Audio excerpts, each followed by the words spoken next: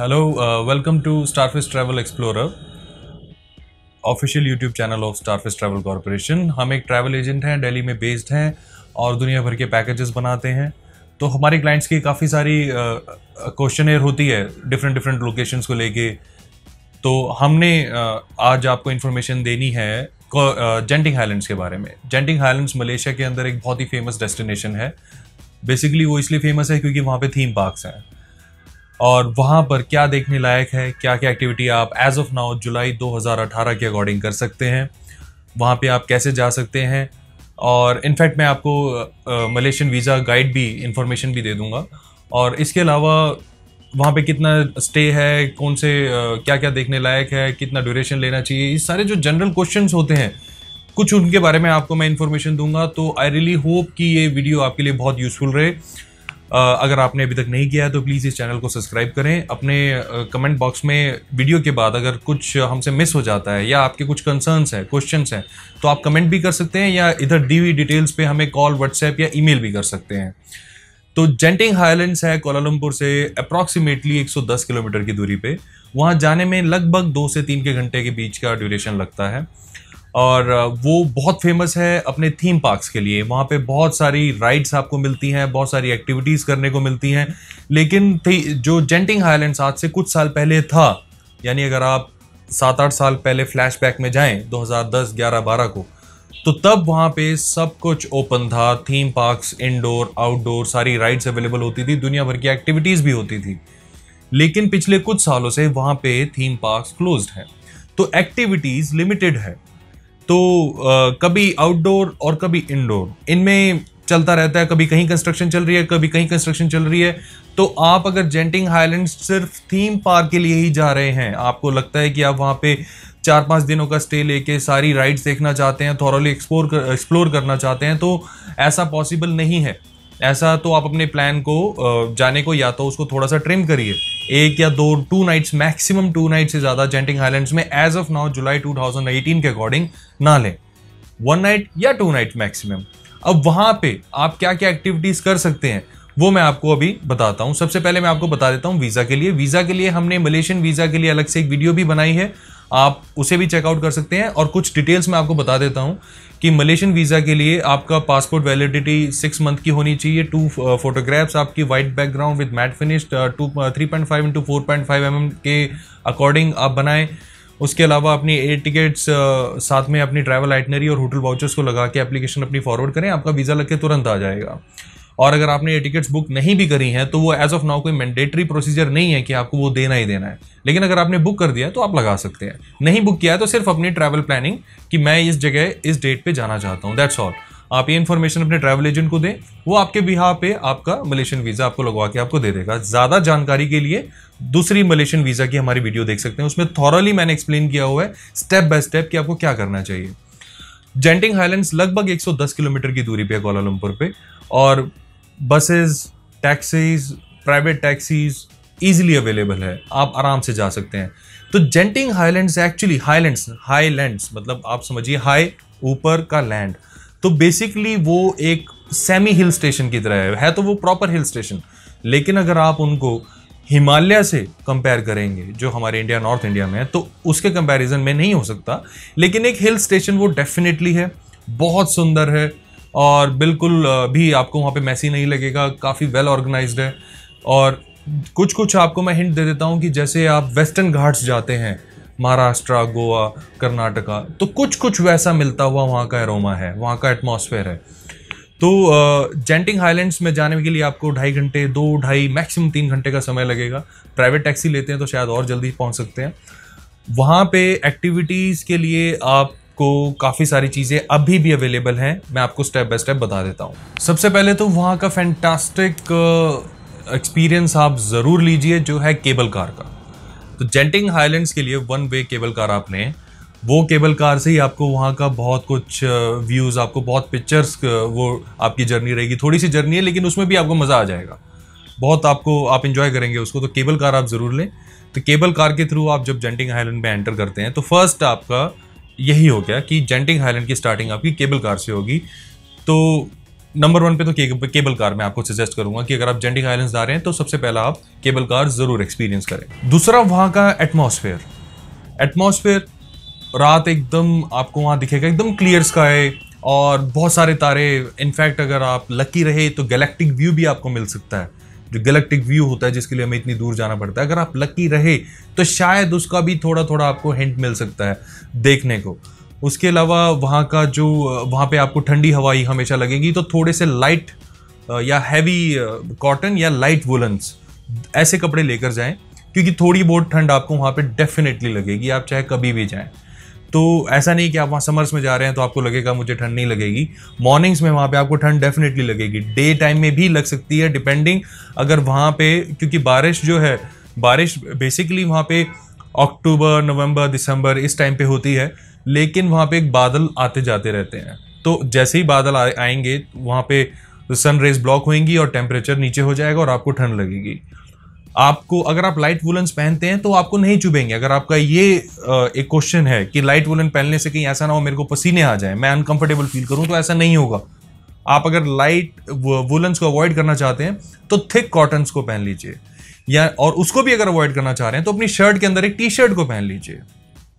Right अगर आपको in case one percent गर्मी लगती है तो आप अपनी शर्ट रिमूव भी कर सकते हैं, जो कि ज़रूरत नहीं पड़ेगी। तो इस तरीके से आप उसका प्लान कर सकते हैं। लेकिन मैं रिकमेंड करूँगा कि लाइट वुलन फिर भी अपने साथ ज़रूर कैरी। करें नेक्स्ट थर्ड पॉइंट है please believe it or not आप यहाँ पे डेफिनेटली चाहें बच्चे तो बहुत इंजॉय करेंगे अगर आपके साथ बच्चे हैं तो। आपको याद हो, बहुत साल पहले ये शो आता था, जिसमें बताया जाता था कि बिलीव इट और नॉट कि कभी ऐसे भी लोग हैं जो उन्होंने ऐसा चमत्कार भी किया है, कभी ऐसा भी हुआ है। तो some kind of some sort of fascinating stories वो लोग बताते थे अपने शो में और बहुत हिट शो था। वहाँ पे कार चेज का भी बताया जाता था कि एक क्रिमिनल था जिसको कार चेज किया 200 की स्पीड पे। अमेरिका में, कभी कहीं का, कभी कहीं का।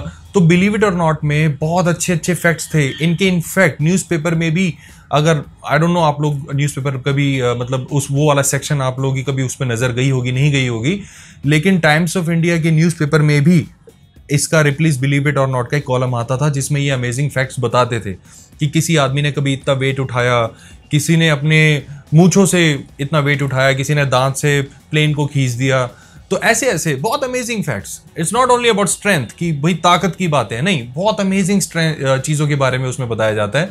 तो बच्चे अगर आपके साथ हैं तो वो डेफिनेटली इसको एंजॉय करेंगे तो इसको अपनी आइटनरी में ज़रूर इंक्लूड करें। फोर्थ वहाँ पे है कसिनो तो कसिनो जेंटिंग में बहुत इजीली अवेलेबल है। वहाँ पे आप देखेंगे काफ़ी सारे कसिनोज हैं और बहुत फ़ेमस भी है वहाँ के कसिनोज हालाँकि उनको मकाऊ से कंपेयर नहीं किया जा सकता या फिर लास्ट वेगस से नहीं कंपेयर किया जा सकता, लेकिन वो भी एक एंटरटेनमेंट सेक्टर है। अगर आप कसिनो पसंद करते हैं तो डेफिनेटली इस डेस्टिनेशन को आप पसंद करेंगे ही करेंगे।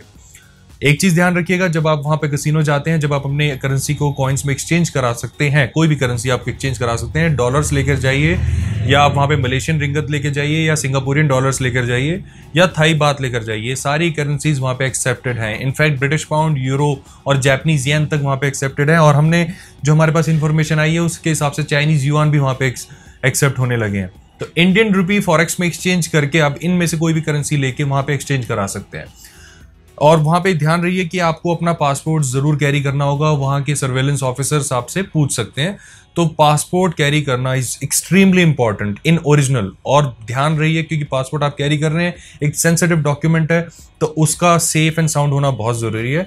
तो कसिनो में आप जाएँ एंटरटेनमेंट करें एंजॉय करें, लेकिन पासपोर्ट का भी ध्यान रखें। फिफ्थ है वहाँ का गेमिंग सेंटर वहाँ पे दुनिया भर की आपको गेम्स मिलेंगी। उनके नाम बताना सभी का तो बहुत मुश्किल काम है, क्योंकि इतनी सारी गेम्स हैं।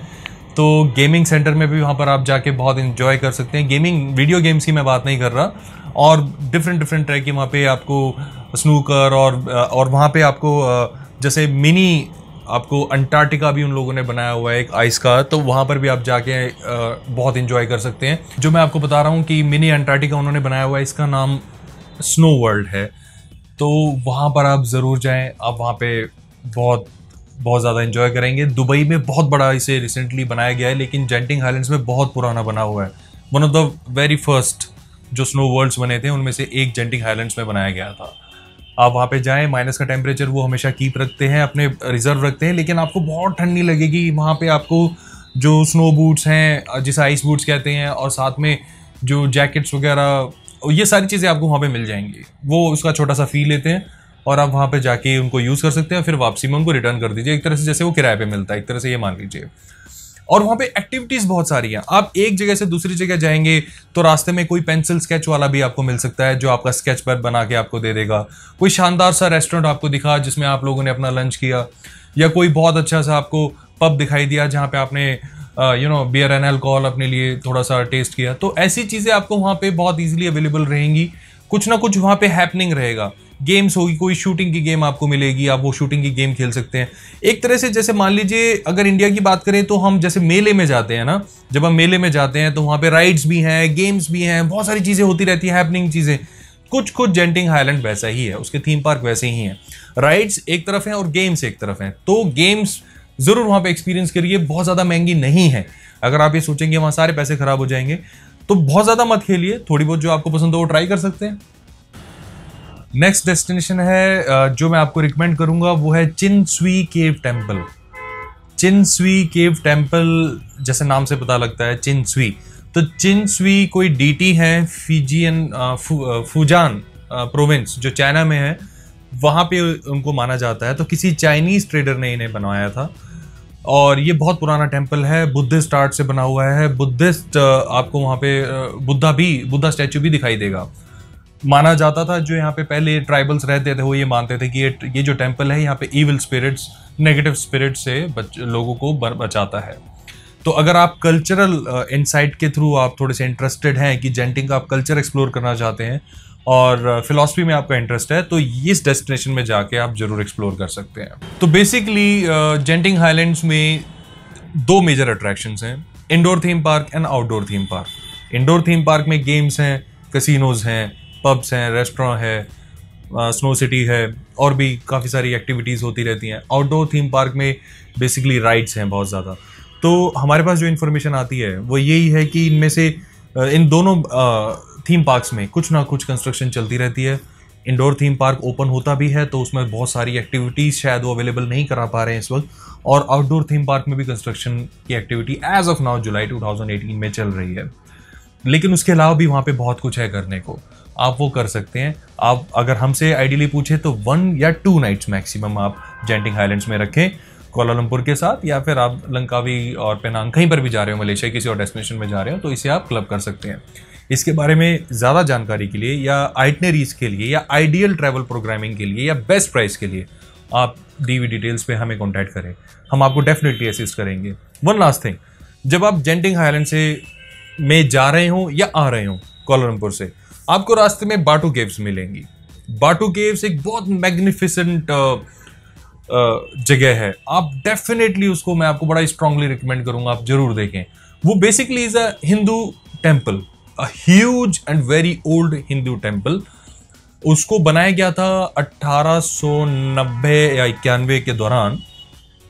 एक इंडियन ट्रेडर थे, उन्होंने उस जगह को देखा और ही वॉज़ हाईली इम्प्रेस तो वहाँ पर उन्होंने लॉर्ड मुरुगन, जो कि तमिल में एक बहुत ही पॉपुलर डीटी हैं, और लॉर्ड मुरुगन जो है वो उनका दूसरा नाम कहें, या उनका ओरिजिनल नाम कहें, वो है, उनका नाम है कार्तिकेय।